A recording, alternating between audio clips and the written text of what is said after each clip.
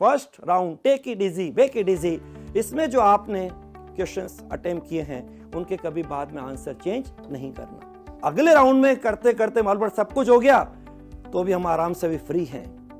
वहाँ कभी समय की तलवार उन पर लटकी नहीं। एक सीट जीएमसी के लिए आपने उस पर रुमाल रख दिया है।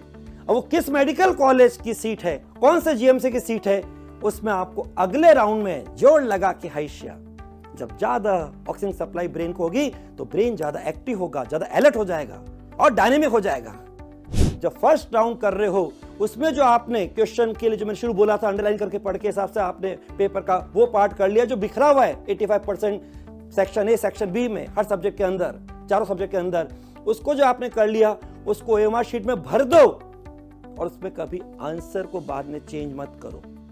क्योंकि अगले राउंड के बाद अगर आप जो मेंटल एक्सरसाइज का राउंड है, उतार चढ़ाव का राउंड है, उसके बाद में अगर आप आंसर की को, जो एम शीट में आपने फ्रेश बिल्कुल, जहाँ बिल्कुल तरोताजा थे, एक अलग तरह का एक्साइटमेंट था, एक अलग तरह का जोश था, वहाँ पर आपने जिन क्वेश्चन के आंसर जो टिक किए थे, अब अगर इस दिमाग से जो कि थक चुका है, पक चुका है मेंटल एक्सरसाइज के दौर से गुजर चुका है कंफ्यूजिंग नेचर का हो चुका है, उससे अगर आप वापस से क्रॉस चेक कराओगे तो हर आंसर में कईयों को बोला, ये कर दे, ये कर दे, ये कर दे, और जितों को चेंज करोगे, सब जगह बंटाधार हो जाएगा।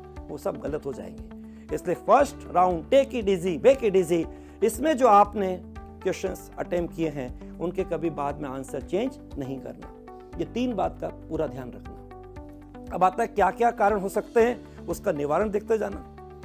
और हर को लग जाएगा कि अगर इसमें हम देखें तो हमारा स्कोर आराम से, हर स्कोर पॉजिटिव कैसे होता है। पेपर अटेम्प्ट करने का तरीका जो मैं बोल रहा हूँ राउंड मेथड टॉपर्स का अपना अपना तरीका होता है कि बच्चे कहते हैं टॉपर्स को फॉलो करें। आपको टॉपर्स को फॉलो करने से अच्छा हो जाए तो अच्छी बात है। और अगर आप खुद अच्छा ही कर रहे हो तो उसको फॉलो करो। लेकिन फाइनल एग्ज़ाम में कोई नया तरीका मत लगाओ, जिसमें आपका विश्वास हो जाए कॉन्फिडेंस हो जाए, उसको हमेशा अपने लिए प्रैक्टिस करते करते हैबिट में कन्वर्ट कर लो। आपका पेपर का तरीका राउंड मेथड हो, या आपने डिवाइड कर रहा हो टाइम जिससे आपका अच्छा होता है उससे करिए। मैं भी अगर आपके जो एग्ज़ाम दूँगा तो स्टार्ट बायो से करूँगा, लेकिन सब्जेक्ट के पीछे नहीं पढ़ूँगा अब आप टाइम डिवाइड करके करो तो भी तरीका सही है, और राउंड से करो, मैं जाऊँगा तो राउंड से करूँगा। मेरा तो वो तरीका होगा। अभी आपको दिखाऊँगा अभी कितने बच्चों ने इस चीज़ को फॉलो किया, और उनका स्कोर भी आराम से बढ़ा।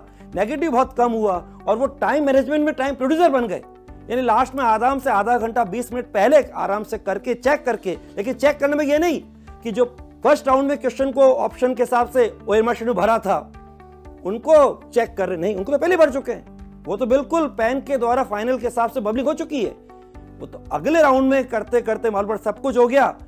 तो भी हम आराम से भी फ्री हैं। वहाँ कभी समय की तलवार उन पर लटकी नहीं तो ये तरीका पेपर अटेम्प्ट करने की जो स्ट्रेटजी है, सबसे बेस्ट तरीका होता है राउंड मेथड इसमें कई फ़ायदे होते हैं। पहला फ़ायदा, एक तो समय की तलवार कभी लटकते नहीं। दूसरा, आपसे कभी ब्लंडर मिस्टेक नहीं होती। कि आपने किया बायो में, भर दिया फिजिक्स में। किया केमिस्ट्री में, भर दिया आपने बायो में। ऐसा नहीं। क्योंकि आपने एक बार में एक काम किया। एक बार पहले आपने चारों सब्जेक्ट का, सेक्शन ए, सेक्शन बी का, पेपर में जो हो सकता था, वो प्लेन टाइनी नेचर का सेक्शन, वो 85 परसेंट के क्वेश्चन जो बिखरे हुए, उनको पहले कर लिया। ये काम पहले पेपर में हो गया।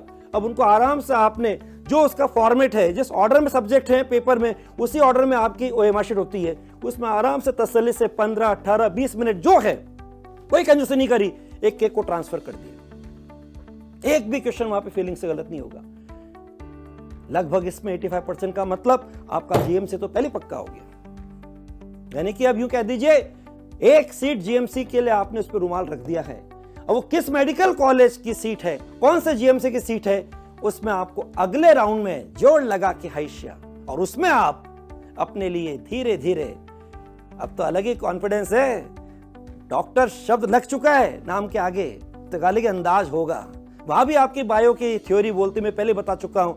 अलग तरह के हार्मोन्स का वहाँ एक सिक्रेशन होता है। और वो हार्मोन्स गजब के काम करते हैं। जब आपको वो पल इमेजिन करिए, जिस पल आपको लगे कि फ़र्स्ट राउंड के बाद आपका 85 परसेंट का पेपर बिल्कुल परफेक्ट हो चुका है, आपका स्कोर 612 पहुँच चुका है और आपके नाम के आगे डॉक्टर लिख चुका है। एक जीएमसी में आपके सीट का इंतज़ार हो रहा है। तो आपको वो पल जिस समय वो ड्रीम रियलिटी में कन्वर्ट हो गया, वो सपना एकदम साकार हो गया, आप अलग ही तरह के डिलाइटनेस महसूस करेंगे हैप्पीनेस महसूस करेंगे, अंदर से बहुत प्रसन्नचित होंगे, प्रफुल्लित होंगे, आह्लादित होंगे, उस समय बॉडी में कुछ स्पेशल हार्मोन्स का रेट ऑफ़ सिक्रेशन बढ़ जाता है।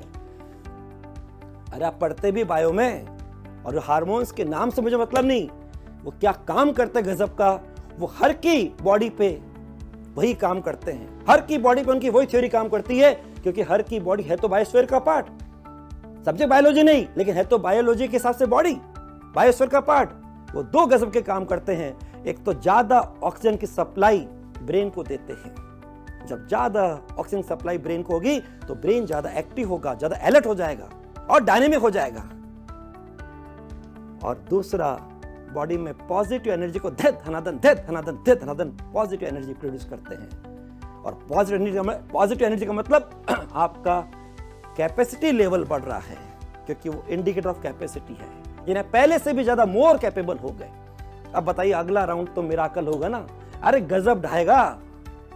क्योंकि एक तो आपका ब्रेन ज़्यादा एक्टिव हो गया है, ज़्यादा अलर्ट हो गया है, इस तरफ़ से कोई भी मिस्टेक नहीं होगी। कोई सिली मिस्टेक नहीं होगी। और जो एक्टिव ब्रेन है अलर्ट ब्रेन है उससे कोई कंफ्यूज भी नहीं कर सकता।